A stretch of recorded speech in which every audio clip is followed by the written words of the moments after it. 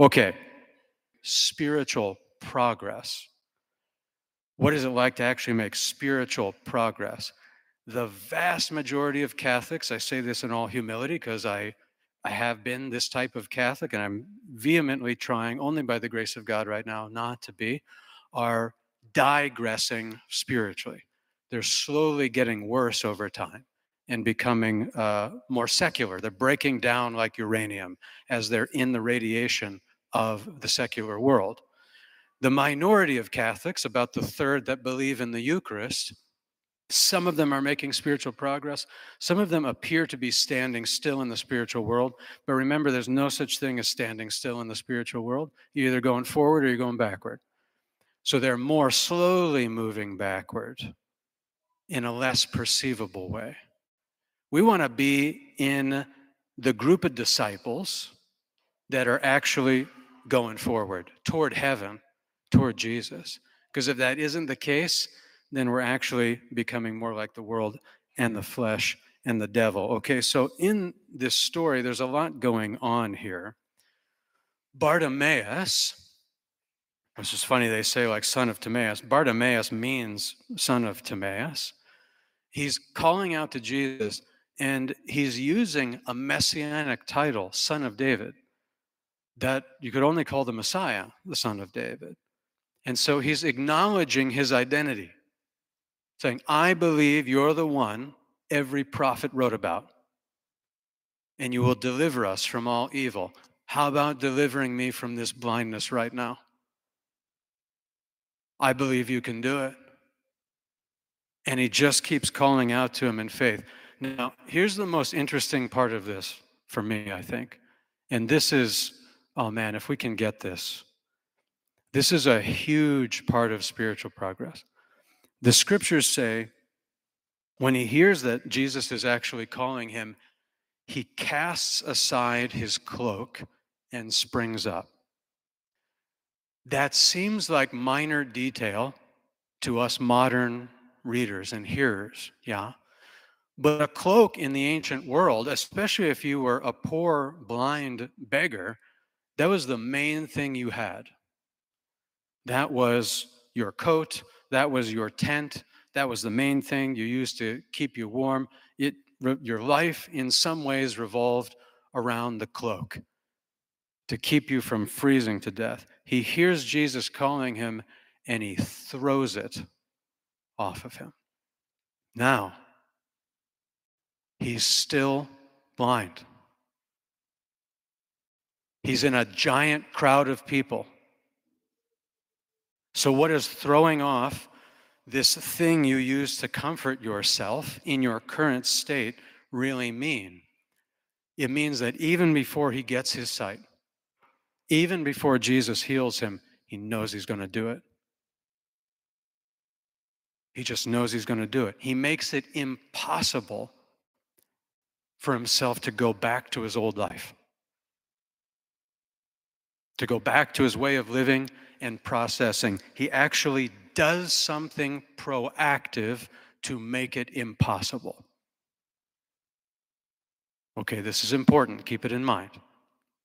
Now, let me give you an example for us. This is a very, very common internal spiritual reality. Try to meditate on it from your perspective because this looks a little bit different for everybody. But say you experience some kind of pain in your life. Everybody experiences some kind of pain in your life. You don't know where it comes from, you don't know why it's there. You can't reverse engineer it to the origin point. You're just in pain, okay?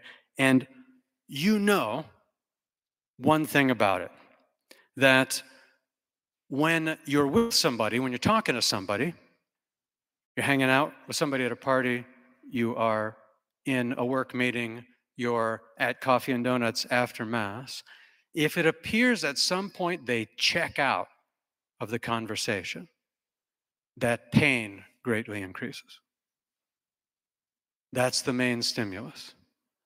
Is you're talking about what you think is important about your life, and they're like,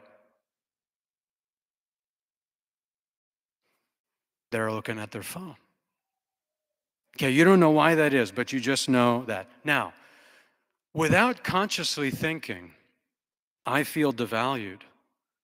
I feel like someone has pulled off the impossible. They've actually objectively lessened my objective value. You don't think that, you just feel it. You feel rejected. Okay, so you don't think it, you feel it. It's pure experience. It's pain. It's a particular type of pain that you're very, very familiar with, but you can't see where it's coming from. You're blind to it.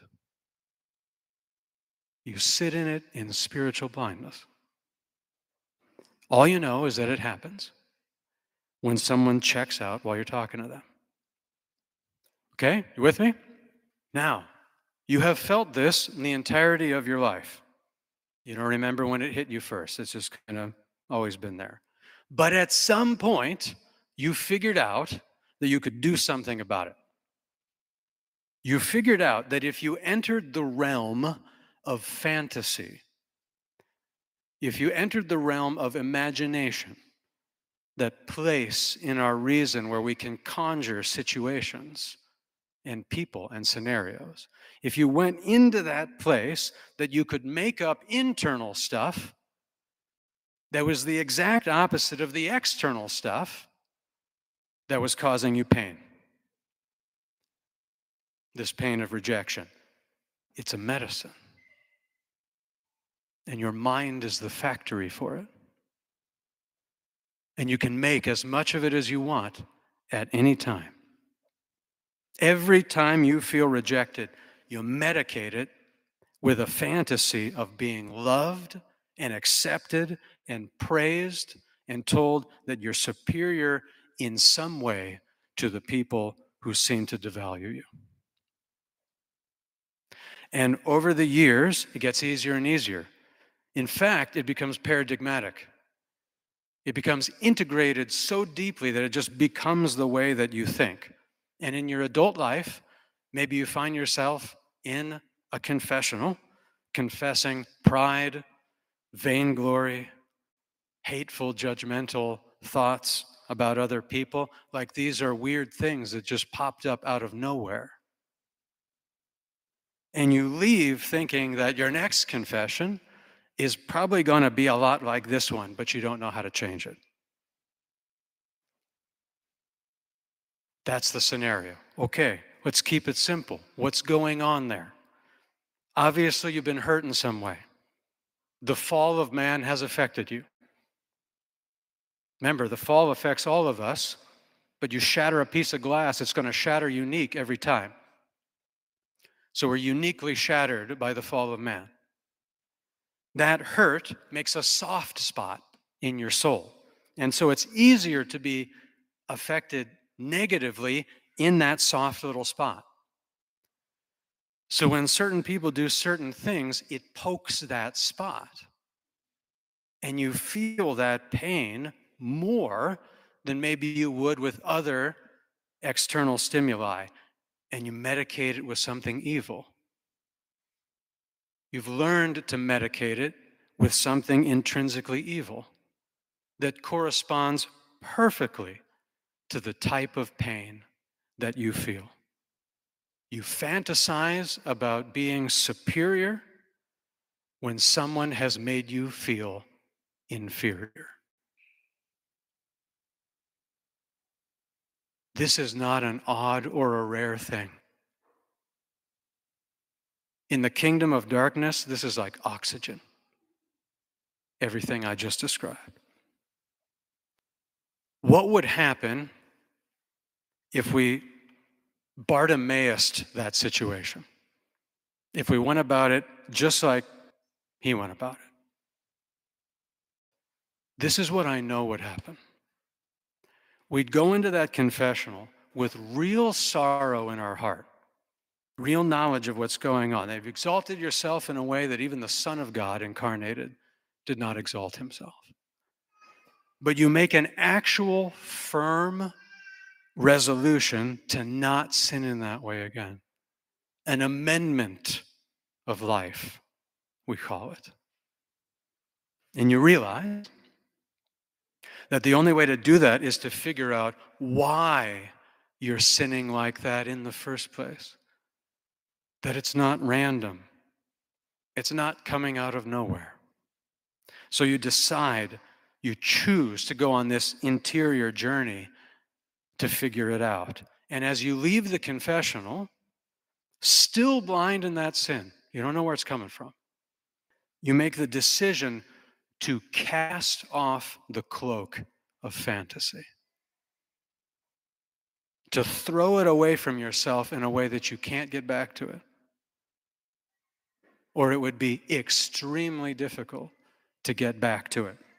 And you call out to Jesus in faith I can't do this. I just threw away the one thing that worked.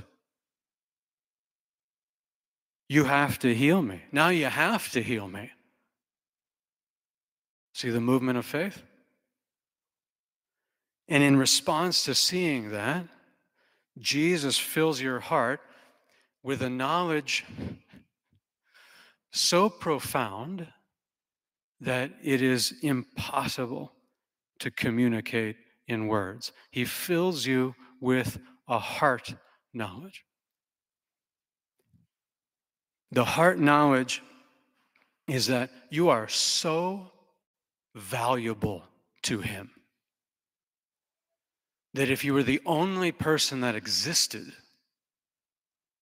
He would take every nail, every lash, every scourge, every punch just for you.